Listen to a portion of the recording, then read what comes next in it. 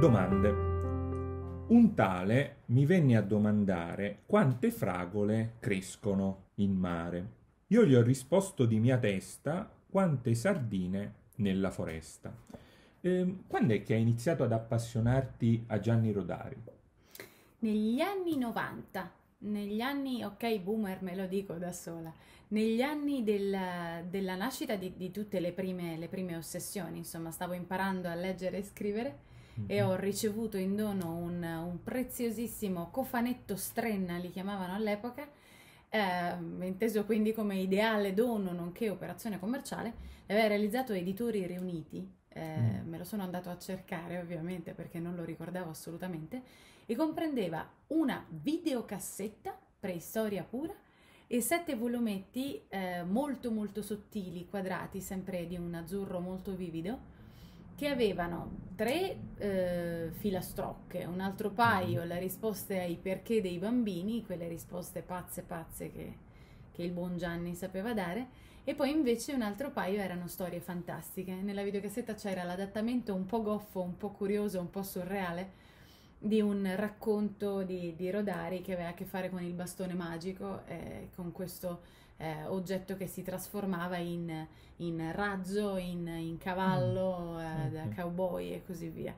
Eh, un incontro davvero surreale che per me è stato folgorante perché è nata lì una forma di ossessione per, per le parole, per il segno, per il senso e per la magia che generavano queste benedette rime.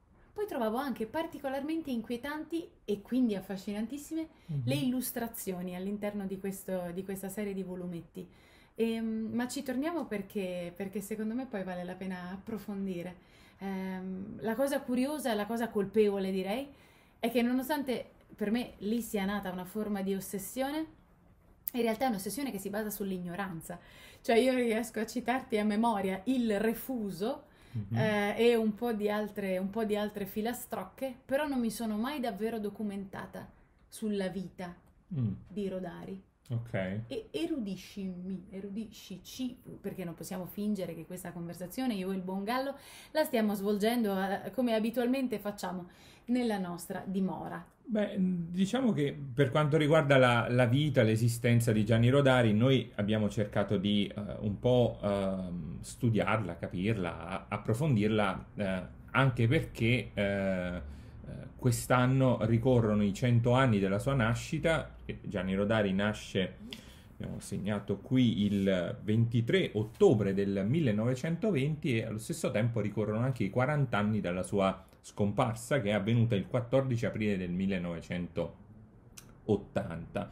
Uh, ehm, e che cosa viene fuori sua, dal racconto della sua vita, della sua esistenza? Beh, diverse cose um, interessanti, cose anche molto, diciamo così, ovvie e scontate che uno può andare a cercare anche da, da qualche altra parte. Però sicuramente quello che è interessante ripetere è che nel 1937 lui si, si, diploma maestro e comincia a lavorare come precettore. Si iscrive poi anche alla, facoltà di lingua all'università, però senza portarla a termine, quindi lui non, non completa, non porta a compimento questo percorso di studio. Tra il 40 e il 45, e quindi durante gli anni della seconda guerra mondiale, eh, eventi molto molto tristi eh, lo segnano, perché lui durante la guerra perde suoi, due dei suoi più fidati eh, amici e tra l'altro il, il fratello viene eh, internato all'interno di un campo di concentramento in Germania. Uh, questo ovviamente lo porta a, uh, diciamo così, entrare a far parte della, della resistenza uh, lombarda e quindi a, a, combattere e si iscrive poi al Partito Comunista Italiano. Questa vicinanza poi all'ideologia comunista e marxista lo accompagnerà per tutto il resto della sua vita e farà sì anche che nel, eh, nei primi anni 50, se non sbaglio, nel, nel 51, quando venne alla luce il suo primo libro delle filastrocche, eh, questo suo libro, assieme poi alla raccolta di una serie di suoi articoli, eh, venissero bruciati nei cortili di molte chiese a seguito della scomunica della, della città del Vaticano, quindi dello, dello, spa, dello, Stato Pontificio. Quindi una cosa abbastanza um, orribile, se, se, così possiamo dire, che ha eh, sicuramente segnato terribilmente la, l'esistenza e la, la creatività e i temi trattati dalla sua creatività di quello che è stato sicuramente per noi eh, italiani, per la lingua nostra italiana, il più grande scrittore di libri per, eh, per l'infanzia.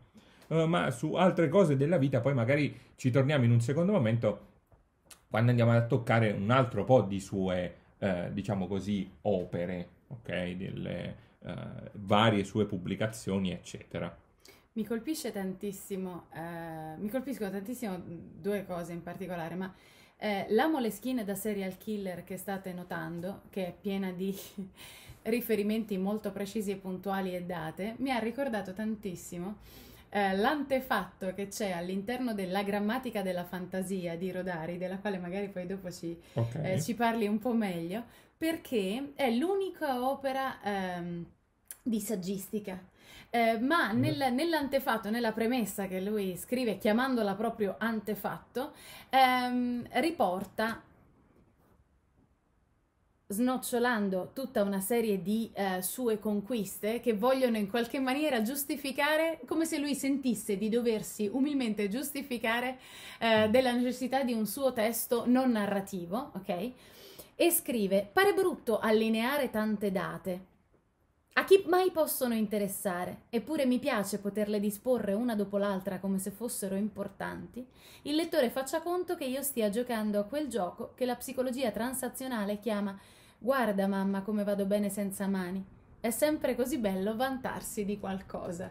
Mi ha fatto mm. una gran, una gran tenerezza perché l'ossessione per la data e, e, e, come dire, e il doverla poi giustificare è qualcosa che ha messo in conto eh, pignantamila anni fa no. nello stendere l'antefatto in questione e, ed è come se ci fosse una compresenza, perché ora che eh, ripercorriamo un po' con te la, la, sua vita, appare evidente questo dualismo, diciamo così, questa vocazione creativa sfrenata alla fantastica mm. eh, e poi invece eh, delle esperienze di vita assolutamente tragiche, no? come, come per tutti. Sì. Eh, è incredibile le, come, come, come, doppio binario. Eh, è verissimo, ma forse tutta la sua esistenza si muoveva su questo doppio binario, perché se vogliamo, la sua stessa prima eh, pubblicazione, e cioè il libro delle filastrocche del 51, ecco proprio quello di eh, provare a raccontare usando e scatenando la fantasia, quindi qualcosa che va a, a rompere, a spezzare l'ordine costituito delle cose, inserendolo però all'interno di una struttura uh, metrica, se vogliamo, estremamente rigida, come quella di una filastrocca, che a volte ha anche una struttura circolare, la, um, uh, con, con, la presenza delle rime. Ecco, questo un po' è qualcosa che uh, crea una... Um, un effetto duplice, perché da un lato appunto abbiamo qualcosa di completamente bizzarro, strano, eh, l'ordine costituito che viene capovolto, e dall'altro lato qualcosa di assolutamente rassicurante e, eh, diciamo così, um, se vogliamo anche... Um... Fin troppo coccolante, sì. fin troppo accomodante, fin troppo rassicurante. È giustissimo, è giustissimo. E, sì. Ehm, sai, il cofanetto di, che ti citavo prima, quello dove nasce tutta la mia ossessione, è stato recensito sull'indice dei libri del mese eh, dell'epoca, negli anni 90, e ho ah, ritrovato okay. le scansioni eh, vale la pena citarlo perché? Perché intanto Fernando Rotondo, il eh, diciamo studioso, docente universitario di eh, letteratura per l'infanzia, quindi persona preparatissima in merito, mette proprio in luce questo dualismo e poi perché si concentra su un'operazione che, in, che in, diciamo negli anni è stata fatta rispetto all'opera di Rodari, proprio riguardo quello che stai dicendo tu, e cioè Um, cito proprio letteralmente il, il pezzettino di, di, Rotondo che magari poi possiamo eh, fornire come materiale scaricabile perché può essere interessante. Um, apre dicendo ovviamente che dopo la morte di Rodari dai suoi cassetti è uscito un po' di tutto, poi cita Rodari, quindi il buono, il cattivo, il bello e il brutto, tanto per usare un suo verso, financo operazioni commerciali spericolate, quindi d'accordo, si è sempre fatto, insomma, e, e questo va bene. Dopodiché però tiene conto di, una, di, un, di, un, come dire, di un concetto abbastanza particolare, secondo me sempre attuale.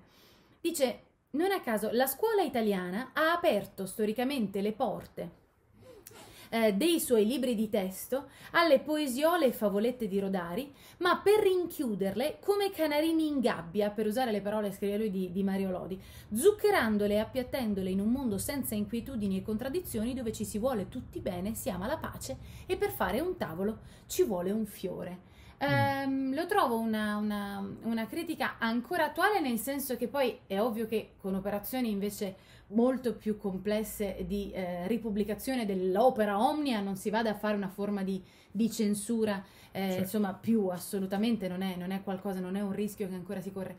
Però è interessante, è come se stesse suggerendo di fatto che quindi per gran parte del, eh, del tempo si è rischiato di tenere fuori dalla scuola eh, o fuori da un certo tipo di, di scuola, mm, il brutto. Eh sì, il brutto. O lo è... spaventoso. Il brutto e lo spaventoso che poi sono quelle cose che, diciamo così, vanno a divergere da quella che è una linea, diciamo, stabilita. E sarà probabilmente eh, l'ultimo eh, tema o aspetto dell'opera di Rodare che vorremmo trattare insieme a voi, cioè quello che è del cosiddetto concetto dell'errore, di che cosa se ne faceva Rodari dell'errore e perché lo considerava così, così importante. Però, diciamo così, nel percorso che andiamo ad affrontare, siccome abbiamo già parlato del suo libro delle filastrocche, quello del 51, mi sposterei invece al suo primo romanzo, quindi l'opera eh, uscita nel nello stesso anno che è il, il romanzo di Cipollino, il romanzo di Cipollino, avven- qui invece pubblicato come Le avventure di Cipollino perché molte di, sue, eh, di questi suoi racconti vedevano poi la luce Uh, se vogliamo, a, a, puntate, di volta in volta, su uh, una rivista che si intitolava Il Pioniere, che era l'associazione dell'API, Associazione Pionieri Italiani, che si ispirava a quelle che erano le, le dinamiche dello scautismo cattolico, però um, declinate in una matrice molto più uh, marxista e questo poi diede anche quei problemi con la Chiesa Cattolica di cui abbiamo fatto riferimento prima. E poi invece quindi questo romanzo di Cipollino cos'è come parte? Gianni Rivoluzionario qui eh, sposa Gianni Lisergico. Nel senso che ragazzi, non so quanto siate, eh, come dire, ehm, a, a, a, conoscenza, frequentiate abitualmente eh, i mattacchioni di Adventure Time, ma siamo da quelle parti lì, insomma, ecco, mancano il re ghiaccio e la principessa gomma rosa e, eh, come si chiama la vampirella meravigliosa? Marceline. Marceline Mamma, quanto amore, perché qui Fine Jake sono presentissimi eh, viene presentato in maniera assolutamente ligia e professionale in questo modo, ecco in Vessere innevata, il primo autentico capolavoro di Gianni Rodari, Cipollino torna a giovani e meno giovani lettori con tutta la sua esuberanza, la sua voglia di giustizia, il suo gusto dell'ironia e del sorriso. Quello inventato a Rodari è un mondo di frutta e verdura, con buffi personaggi che in realtà, mh, mm, diciamo così, pescolano, da, pe, pescolano, pescano, pescolano sarebbe molto piaciuta a Gianni, mi piace esatto, pensare, esatto. pescolano dalla realtà sociale dalla fantasia, ehm, toccando temi come l'inclusione, l'amicizia, eccetera, eccetera. Tutto molto bello, ma tuffiamoci, la vera challenge di questa quarantena, anzi non usiamo impropriamente il termine quarantena e chiamiamolo isolamento volontario perché è quello che, che è per gran parte di noi privilegiati, um, la vera challenge è leggere l'incipit di Le avventure di Cipollino senza ridere. Capitolo 1 Schiaccia un piede cipollone al Gran Principe Limone. Cipollino era figlio di Cipollone e aveva sette fratelli, Cipolletto, Cipollotto, Cipolluccio e così di seguito, tutti nomi adatti a una famiglia di cipolle. Gente per bene, bisogna dirlo subito, però piuttosto sfortunata. Cosa volete quando si nasce cipolle? Le lacrime sono di casa. Cipollone e i suoi figli abitavano in una baracca di legno poco più grande di una cassetta di quelle che si vedono dall'ortolano. I ricchi che capitavano da quelle parti torcevano il naso disgustati. Mamma mia, che puzzo di cipolla, dicevano e ordinavano al cocchiere di frustare i cavalli. Una volta doveva passare di là anche il governatore, il principe Limone. I dignitari di corte erano molto preoccupati. Cosa dirà Sua Altezza quando sentirà questo odor di poveri? Si potrebbe profumarli, suggerì il gran ciambellano. La appoggia pianissimo, l'ottimo Gianni entra eh, diciamo a gamba tesa ma soprattutto snocciola una serie di nomi di, di personaggi che hanno come ripeto t- tanto di, di lisergico sbrigliando quella fantastica oltre che fantasia eh, sulla quale ha tanto ragionato. È verissimo e, e, ovviamente dopo aver ascoltato questo breve inizio è molto semplice e facile capire come possa aver avuto così tanto successo questo romanzo poi eh, nell'Unione Sovietica del, dell'epoca, tanto che dieci anni dopo la pubblicazione del romanzo, nel 1961, venne addirittura tratto un film di animazione, quindi il collegamento che Domitilla ha creato prima con Adventure Time è più che calzante perché davvero c'è eh, la possibilità di immaginare questi personaggi animati nel momento in cui assumono i vari aspetti delle, delle verdure, della frutta ehm, e quant'altro. Però è chiaro l'intento, eh, diciamo così, eh, rivoluzionario eh, di questo cipollino che nel giro poi di Uh, poche di, di, di, poche pagine si troverà a capitanare una, una rivolta contro questo temibile, eh, mostruoso, malvagio principe limone eh, è una, eh, diciamo così, una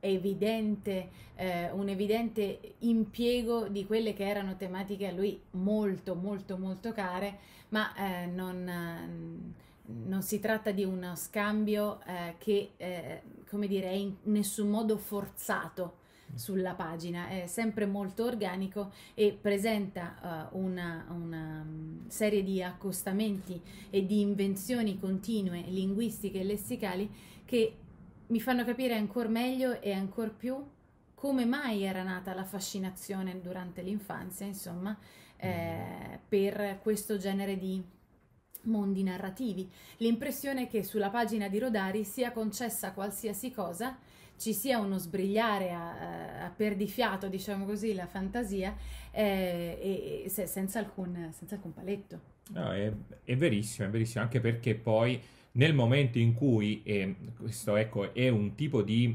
eh, consiglio che solitamente diamo quando teniamo i nostri corsi di, di, narrazione, e cioè che se io voglio infrangere le regole, io queste regole le devo conoscere molto bene devo avere molto ben presenti quelli che sono tutti i paletti di una narrazione e nel momento in cui io li conosco, so dove stanno, posso, diciamo così, infrangerli, posso romperli e così via. Per Gianni Rodari questi paletti si trovavano pressoché ovunque, erano dappertutto, non erano soltanto le parole, perché attraverso una serie di suoi titoli sembra quasi che il divertimento consista nell'accostare parole che apparentemente mh, sembrano non avere nulla in comune, ma proprio il concetto, se vogliamo ancora prima di punteggiatura. Ehm, che cosa accade? Che nel, vediamo un attimo qui, nel 1960, questa è Filastrocche in cielo e in terra, è la prima pubblicazione di Gianni Rodari per la casa editrice Enaudi di, di Torino, eh, questa, questa, edizione aveva poi i disegni di eh, Bruno Munari, sicuramente come quello che tu hai citato all'inizio, responsabile non soltanto di, eh, come dire, accompagnare il testo con le sue illustrazioni, ma di arricchirlo e quasi in un certo senso a, ad andare ad indagarne dei sensi più nascosti che lui riesce a portare alla luce, perché determinate sue illustrazioni, con questi bei colori eh, netti, privi di, di sfumature, ehm, se visti in realtà con un occhio magari anche un po' più adulto come siamo noi, che poi Gianni Rodari lo... Moderno, sì. O più moderno, certo, che lo rileggiamo a distanza di un po' di tempo, riusciamo a trovarne quasi una sorta di, di, di, di inquietudine. Um, per esempio, questo filastrocca in cielo intera si apre con questa filastrocca intitolata Il dittatore e fa così un punto piccoletto, superbioso e iracondo, dopo di me gridava verrà la fine del mondo. Le parole protestarono. Ma che grilli ha pel capo? Si crede un punto e basta, e non è che un punto e a capo. Tutto solo a mezza pagina lo piantarono in asso e il mondo continuò una riga più in basso. E l'illustrazione qui, che si trova a questo punto, quasi fa pensare, sì, d'accordo che c'è un punto, il mondo, ma ci fa quasi pensare no, che ci sia un, un pianeta all'interno di una galassia, Un per cui sì. O anche Un buco o anche nero. un gorgo, esatto, esatto, esatto. Ora, questo è quello che uno potrebbe immaginare un semplice eh, scarabocchio fatto da bambino. E invece no, perché si è accostato a queste parole, a questa ritmica, a questa sonorità e a questo intento, eh, è completamente, lo capite anche voi, ribaltato, trasformato, ma potenziato ancora, ancora di più. Da questo punto di vista l'impressione è sempre quella che se ne conosca soltanto un frammento. Mm. Eh, per tanto tempo è stato associato eh, ed è associato tuttora, insomma, a questa benedettissima letteratura per l'infanzia, quando è la sua pagina, secondo me, sempre eh, maestra di stile. Eh, quanti, quanti aspiranti pennivendoli conosciamo? Quanto lo siamo noi stessi e quanto dobbiamo alle sue rime e non solo eh, un certo modo di intendere il fraseggio, un certo modo di intendere la narrazione eh, che, che- che in qualche modo sia eh, tributo alla parola stessa. Eh, io penso anche soltanto al... ce l'abbiamo da qualche parte il, il palazzo di gelato. Oh, certo, certo che ce l'abbiamo, certo che ce l'abbiamo. È una eh, favoletta, è un raccontino che è all'interno di una eh, raccolta che di Eccolo suo qua. già è particolare, no? Perché favole al telefono... Sì, favole al telefono è probabilmente proprio per quella cosa che abbiamo detto all'inizio, no? Di questo accostamento di termini apparentemente ehm, appartenenti a mondi completamente diversi, anche da un punto di vista storico, cioè le favole, le fiabe, che sembrano una cosa così antica, e invece uno strumento che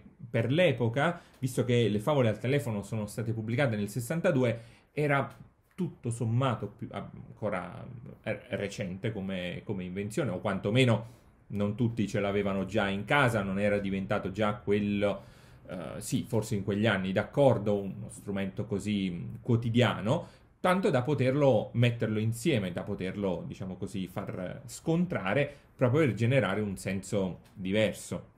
Eh, lui lo, lo sdogana facendone cornice narrativa, no? Giusto? Il romanzo diventa poi una sorta di vero e proprio decamerone per bambini perché eh, il protagonista di, questa, um, di questo libro, bellissimo, è questo ragionier Bianchi di Varese che eh, lavora come rappresentante di commercio, viaggia moltissimo, eh, nord, sud, est e ovest per tutta la penisola, però ha un, ha un compito soltanto, nel senso che lui può tornare a casa soltanto la domenica sera e il lunedì mattina già partire. Allora sta pochissimo, passa pochissimo tempo assieme alla figlia. Allora ecco che si è dato questo compito. Lui tutte le sere alle 9 in punto, ah, alle 21, eh, chiamerà a casa e reciterà, leggerà alla propria figlia una di queste fiabe. E lo dice proprio Rodari nella prefazione di questo libro che proprio per questo motivo le fiabe sono anche così brevi, sono anche così brevi perché il costo di queste telefonate eh, era importante, diciamo così. E sta- Per forza, il ragioniere pagava il telefono di tasca sua, non poteva mica fare telefonate troppo lunghe. E eh, questo è, assolutamente.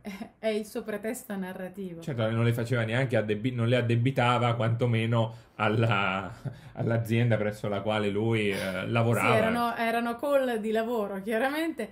Attenzione, nella chiusa, eh, nella, nella chiusa finale Sì. noto di nuovo la- l'umiltà intermittente del buon Gianni, la stessa di prima di quando citava le date in apertura della grammatica della fantasia, perché dice: Mi hanno detto che quando il signor Bianchi chiamava Varese, le signorine del centralino sospendevano tutte le telefonate per ascoltare le sue storie.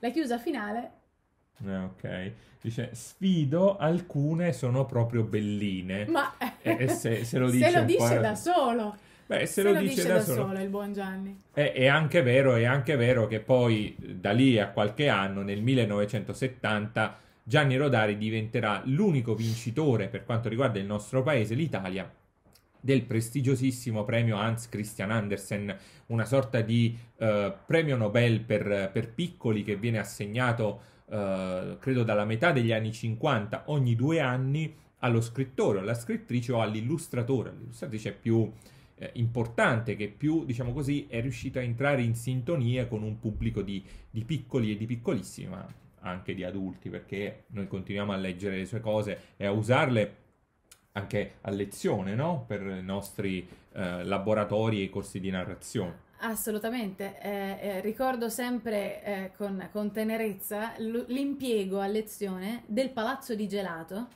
eh, durante i corsi di formazione docenti, non soltanto durante i corsi per mini umani.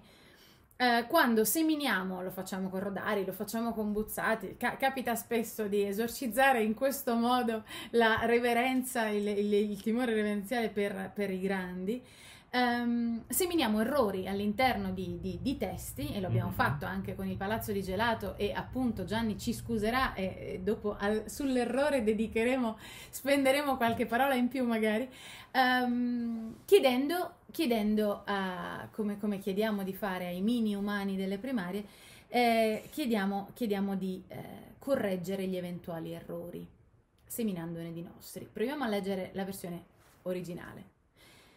Una volta a Bologna fecero un palazzo di gelato proprio sulla piazza Maggiore e i bambini venivano di lontano a dargli una leccatina. Attenzione perché mi fermo già, al di là della straordinarietà del fatto che una volta a Bologna fecero un palazzo di gelato proprio sulla piazza Maggiore e non era per viralità, ma evidentemente proprio per cioè non era per rilanciare il ritorno del cucciolone del winner taco, ok? No, no, no, era proprio un palazzo di gelato senza alcun motivo, tra l'altro non, non c'è tra le pagine è il secondo racconto dei favole al telefono e già abbiamo la- lasciato completamente il mondo della logica e della ragione. Ma eh, mi, mi, interessa particolarmente mettere in luce che grandi e piccoli, docenti e, e, e mini umani correggono eh, tipicamente e invariabilmente quel di lontano, a meno che non siano di quei mini umani o maxi umani che conoscono a memoria i testi de, del buon Gianni, sono stati plagiati anche loro correggono tutti quel di lontano perché è desueto, esatto, per tornare a usare la parola di oggi. Um, um, il tetto era di panna montata, il fumo dei comignoli di zucchero filato e i comignoli di frutta candita, tutto il resto era di gelato, le porte di gelato, i muri di gelato, i mobili di gelato e mi fermo di nuovo perché. Mm. Quante ripetizioni ci sono in queste tre righe e mezza? Un sacco. Intanto c'è il fumo dei comignoli che subito dopo ci riporta ai comignoli di frutta candita. La parola comignoli già la diciamo raramente nelle nostre vite. Eh, trovarla scritta due volte, una riga sotto e una riga sopra, è, può, può, risultare ridondante, ma qualsiasi sostituzione o sinonimo eh, sarebbe stato molto forzato. Mm-hmm. Perché? Perché? C'è questo, tutto il resto era di gelato, le porte di gelato, i muri di gelato, i mobili di gelato e i ragazzini con i quali facciamo, ai quali consentiamo di pasticciare sui testi. Eh, perché ci segnalano tutti quanti, eh ma è una ripetizione, ci sono un sacco di ripetizioni e a scuola ci è stato insegnato che è sbagliato. Ed è vero che eh, in linea generale è sbagliato fare ripetizioni, ma è sbagliato eh, rendersi colpevoli del reato di ripetizione se non se ne è consapevoli. La consapevolezza credo che sia, assieme alla coerenza narrativa a cui facevi riferimento prima, il secondo cardine sul quale sbattiamo più la testa quando proviamo a scrivere o quando proviamo a insegnare a scrivere o aiutare qualcuno a allenarsi per scrivere. Coerenza narrativa, cioè rispetto alle regole stesse che ti sei dato, tu piccola grande divinità di quel mondo narrativo, tu autore. E poi però anche, sii consapevole delle scelte che fai.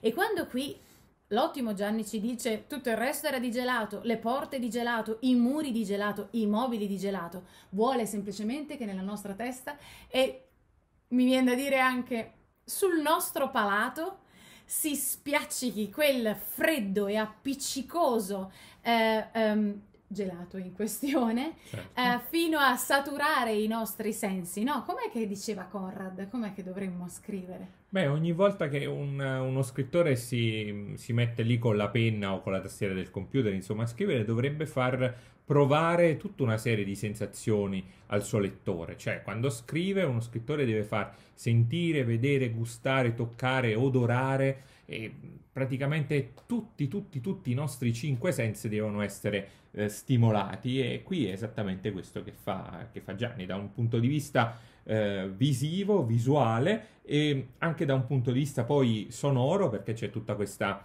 ripetizione, perché se sono favole sono al telefono, no? vengono, vengono, recitate, eccetera, e c'è anche il gusto, diciamo così, della, dell'elencazione, della, della, lista, per cui di volta in volta c'è una cosa che si aggiunge ed è sempre quella della stessa qualità, ma con un dettaglio, un aspetto diverso. L'accumulazione che ci piace. Un bambino piccolissimo si era attaccato a un tavolo e gli leccò le zampe una per una, finché il tavolo gli crollò addosso con tutti i piatti, e i piatti erano di gelato al cioccolato, il più buono. Un altro grande, grande amico, nemico in realtà, uh, del, del, della punteggiatura insegnata a scuola è questa virgola prima di E. Ma la virgola prima della E non si mette. Eh, ma Gianni può, ma non solo Gianni, anche Buzzati, ma non solo Gianni e Buzzati. Chiunque scriva di mestiere, pure la Morante, eh, due o tre ne ha infilate, fidatevi. Eh, il punto qual è? Eh, che, cosa, che lezione traiamo da questa faccenda degli errori? Eh, da, da, da, questa parte qui in, in, particolare, diciamo così, è che la virgola può avere anche un valore, eh, diciamo così, eh, ritmico e non soltanto quindi legato a quelle che sono eh, la struttura, quindi gli impedimenti di quella che è, diciamo così, la, eh, la sintassi, quella banale delle, c'è l'enfasi, delle frasi. C'è una forma di ricercatezza stilistica o c'è un imitare il fraseggio infantile perché qui c'è anche tanto una forma di cantilena, se si vuole cercare di fare una mimesi dell'oralità di un papà che racconta queste storie tutte le sere al telefono. Eh, prima dicevi che il ragioniere di Varese è il protagonista dell'intero eh, arco e a me fa sorridere, fa tenerezza e mi fa chiedere, dal momento che poi non si riaffaccia il, il ragioniere a, a, chiudere il tutto, lo immagino come un personaggio proiettato verso un arco narrativo infinito e, e, e, e diciamo così che, che passa dall'essere mera cornice o mero contesto all'essere un personaggio con una sua dignità narrativa più, più compiuta.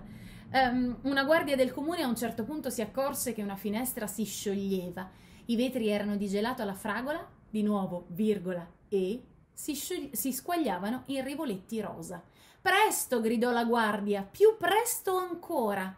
Anche questo più presto è tipicamente segnato come errore e invece no, nel senso che qui di nuovo stiamo facendo il calco dal parlato e stiamo cercando di raccontare eh, come se stessimo raccontando a voce o come se stessimo, soprattutto perché poi siamo in dialogo, imitando la viva voce della guardia eh, che incita la, la, folla e giù tutti a leccare più presto, lo ripete anche fuori di dialogo per dire sì, so che ho scritto più presto e va bene così, per non lasciare andare perduta una sola goccia di quel capolavoro. Una poltrona implorava una vecchiettina che non riusciva a farsi largo tra la folla, una poltrona per una povera vecchia, chi me la porta?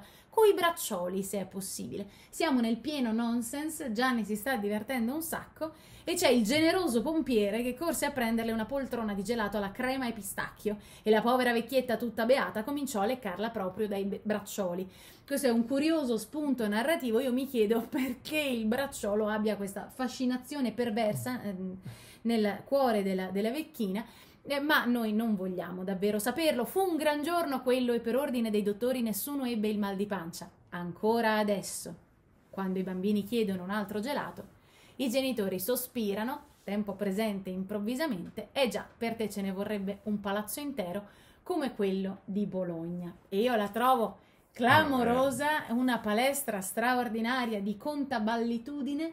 Eh, che sì, fa rima perché... c'è perché l'idea poi è anche quella, come, come, avete appena ascoltato, di poter collocare un evento assolutamente straordinario in un contesto assolutamente ordinario, perché non dice in una città di fantasia, no? Lui ti dice proprio qual è la città, la piazza e tutta la popolazione che si ritrova a fare i conti con questa sorpresa. Non sono generici bambini o adulti, esatto. ma entrano proprio, eh, diciamo così, le figure della, della società, per cui c'è, c'è, il pompiere, per dire, eccetera, eccetera, che si ritrova lì a dover intervenire, per cui è anche questa il racconto, è anche questo il racconto della realtà che fa Gianni Rodari e chissà che non ci possa capitare un giorno di eh, molto semplicemente accorgerci che qualcosa nella nostra realtà è improvvisamente cambiato, è improvvisamente diverso e chi ci deve fare i conti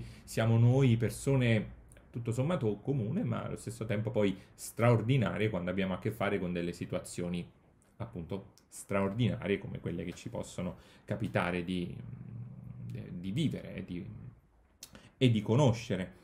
Però il discorso eh, magari qui ehm, che abbiamo affrontato sul concetto degli errori che ci si ritrova a dover fare i conti all'interno delle varie strutture, eh no, sono importanti per- perché è un concetto sul quale lo stesso Gianni Rodari eh, lavorerà tantissimo, tanto che lui nel 1973 eh, pubblica quella che è la sua unica opera eh, saggistica e quindi non prettamente narrativa, che è appunto la grammatica della, della fantasia, un vero e proprio manuale. Per- e perché poi un, un manuale? Perché eh, l'immaginazione, la fantasia, per Gianni Rodari doveva essere uno strumento, qualcosa che tutte le persone dovevano poter utilizzare per poter innanzitutto immaginare una, una versione diversa della realtà e del mondo e sulla base di questo eh, cambiamento poi provare a cambiarlo, provare a migliorarlo. Allora ecco che per Gianni la fantasia doveva essere qualcosa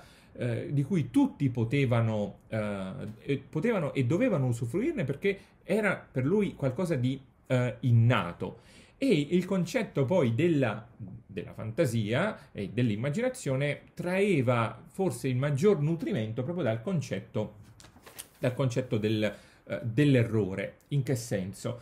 Proprio, mh, soprattutto se ci pensiamo anche nei, nei lapsus, quelli che ci vengono, che ci capitano di, mh, di, di- di commettere, in realtà i nostri errori possono essere carichi di un senso eh, ulteriore. Ne fa alcuni ehm, esempi Rodari.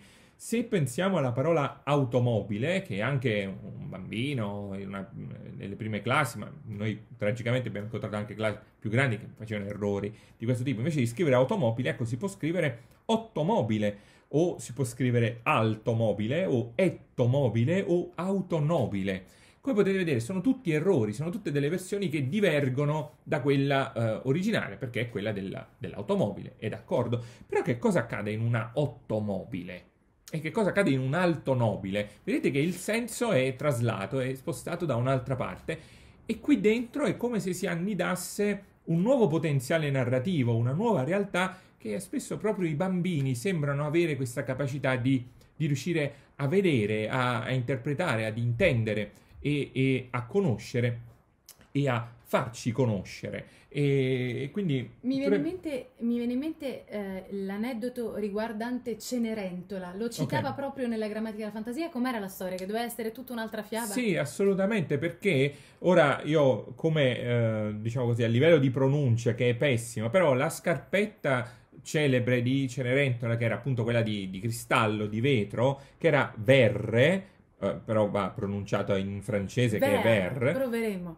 allo stesso tempo in origine doveva essere di, di pelliccia, che era scritto vaire e che si pronuncia essenzialmente allo stesso, allo stesso modo. Se siete francofoni, perdonate lo scempio che abbiamo Sì, appena sì, commesso, scusate, ci scusate. scusiamo. Però ecco che da un errore nasce qualcosa di assolutamente originale, inedito e, e nuovo e che riesce, eh, diciamo così, in maniera più convincente a superare quello che abbiamo detto all'inizio, quello che è la prova del, del tempo, perché sono centinaia d'anni oramai che questa, che questa storia, questa fiaba viene narrata, viene raccontata, proprio perché questa scarpetta è di cristallo e non è una semplice eh, babbuccia di, di pelo o di, pelluccia, di Quindi, pelliccia. eh, se vogliamo provare un attimo no, a, a, eh, sbilanciarci un po' e anche Mhm. così eh, sbragare un attimo, signor Gallo, cosa crede che sia accaduto quanto alla scarpetta che doveva essere di pelliccia è diventata di vetro? Cioè, è un errore di?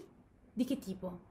Eh, giusto, non è un giusto, refuso giusto. vero e proprio, nel senso che non hai scritto quella singola letterina per un'altra, perché la grafia originaria è, eh, o quella che Rodari ci racconta come originaria, che a sua volta citando un aneddoto di Thompson, credo. Comunque, Di Thompson, ehm, sì. ecco, eh, la grafia di pelliccia di quel tipo di pelo è Vaire, Esatto, V-A-I-R-E, quindi ver, ok, e, e diventa invece vetro, cioè V-E-R-R, che è sempre ver, d'accordo? Quindi se sono omofone o giù di lì, di nuovo perdonateci se sapete di che cosa stiamo parlando, um, evidentemente è stato un errore di trascrizione. Sì, è molto molto probabile perché sappiamo, sappiamo molto bene che eh, tutte queste fiabe, tutte queste favole, quella di Perrault in questo caso, ovviamente traevano nutrimento da quelli che erano i racconti orali che venivano, eh, diciamo così, tramandati di generazione in generazione da persona a persona su una base prettamente di racconto orale. È un po' come eh, quando, si fanno, quando si fa il gioco, eh, quello del telefono, telefono, per cui uno comincia a dire una cosa e si finisce poi per, per tornare dirne... al telefono di qui sopra. Assolutamente, no, assolutamente. Sai cos'è che mi viene in mente? Quell'altro straordinario errore non di trascrizione ma di traduzione mm-hmm. che eh, all'interno del più grande eh, capolavoro fantasy a livello di bestseller quantomeno che oh. la tradizione occidentale ricordi eh, prevede un, un, cammello che passa per la, per la cruna di un, di un ago ed è, ed è, incredibile perché originariamente invece eh, sì. tra le pagine bibliche era previsto che fosse una, una, corda a passare per la cruna di un ago e si stava sostanzialmente eh, alludendo a quanto fosse poco probabile eh, che eh, rispetto a un filo eh, ci fosse la possibilità di introdurre un oggetto così grande attraverso uno spiraglio, un pertugio così piccolo, i cammelli e gli aghi invece non dando.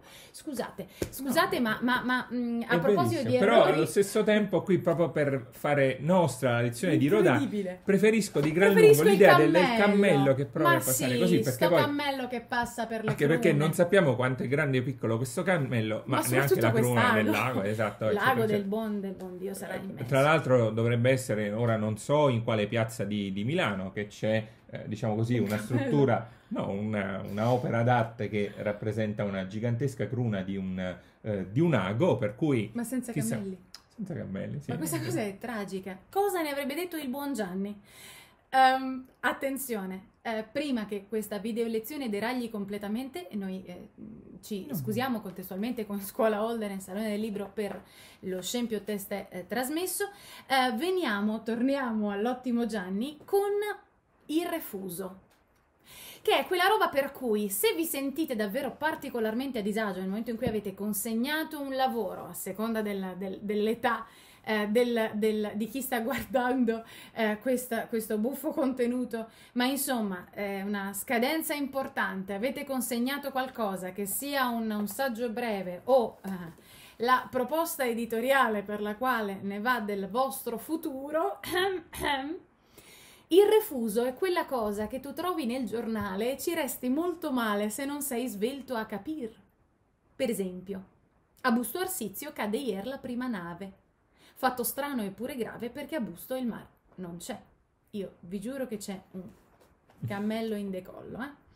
Leggo poi che causa vento un signor perde il cammello. Una volta era il cappello che volava in qua e in là. Io qui non credo tanto al buon Gianni perché per refuso sbagli una lettera, ma non due. Però, però, però. Buffi ladri e dico poco sono quelli di Subiaco che nel muro hanno fatto un baco per rubar dal gioiellier. Li hanno presi, meno male, li avrà messi tosto in cella? Dice che li ha messi in sella. Ora chi li prende più? La signora Moriconi, cuciniera poco accorta, nel richiudere la torta si è schiacciato l'anular il refuso in conclusione è il burlone del giornale e può far sorgere il sale mentre noi s'aspetta il sole. Io ricordo perfettamente di aver imparato a memoria ma anche trascritto infinite volte e illustrato infinite volte con le sapienti doti di una settenne, eh, questa particolare eh, filastrocca perché ossessionata dalla musica, dalla melodia e dal fatto che mi stesse insegnando il sottotesto.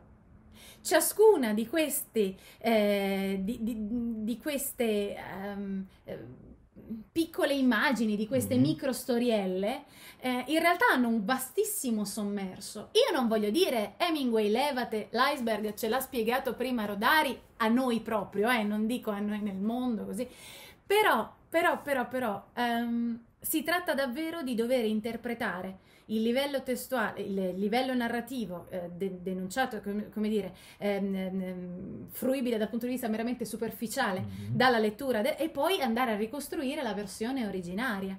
Certo. E quindi automaticamente, eh, se la cuciniera poco accorta, signora Moriconi, ha richiuso la torta e si è schiacciato l'anulare, io devo chiedermi, lui cosa intende dire? Che la signora voleva schiacciare, ha chiuso la porta e si è schiacciato l'anulare? O, essendo cuciniera poco accorta, quello che è successo è davvero che la torta le abbia danneggiato un dito? Eh, questo apre a delle invenzioni straordinarie, ma soprattutto ci giustifica a ogni mail che non rileggiamo eh, e inoltriamo ai colleghi senza fare troppa attenzione. Cosa, cosa, cosa, ci portiamo a casa dal buon Gialli? Perché una tale celebrazione dell'errore? È una tale celebrazione dell'errore perché come sempre Gianni scrive all'interno della, della prefazione del suo manuale, io spero che il libretto possa essere ugualmente utile a chi crede nella necessità che l'immaginazione abbia il suo posto nell'educazione, a chi ha fiducia nella creatività infantile, a chi sa quale valore di liberazione possa avere la parola, tutti gli usi della parola a tutti mi sembra un buon motto del buon suono democratico. Non perché tutti siano artisti, ma perché nessuno sia schiavo. E direi che potremmo ancora di più, sempre con le parole di Gianni Rodari, fare nostro un vero e proprio suo motto quando, diciamo così, dal modo di, di, dire che, nel senso che sbagliando si impara, noi potremmo dire che invece che sbagliando si inventa e quindi un nuovo senso e una nuova realtà. Cento di questi Gianni, ragazzi. Alla prossima. Ciao.